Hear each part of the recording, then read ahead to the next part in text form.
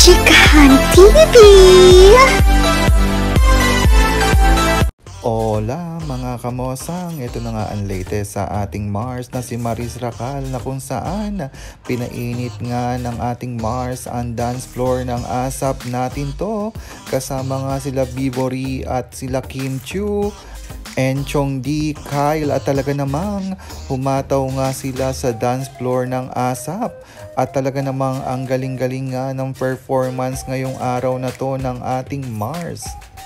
Ang nasabing prod nga ay sinayaw nga nila ang Rolling Stone na kung saan kinanta nga ni Britney Spears. Kaya naman mga kamosang as expected, ayun na nga talaga namang ginalingan nga ng ating Mars. Kaya naman anong masasabi niyo sa performance na to? Comment lang below at huwag kalimutang i-share and like. Kung kayo ay bago sa akin channel, huwag kalimutang mag-subscribe para updated kayo sa latest chika, babush!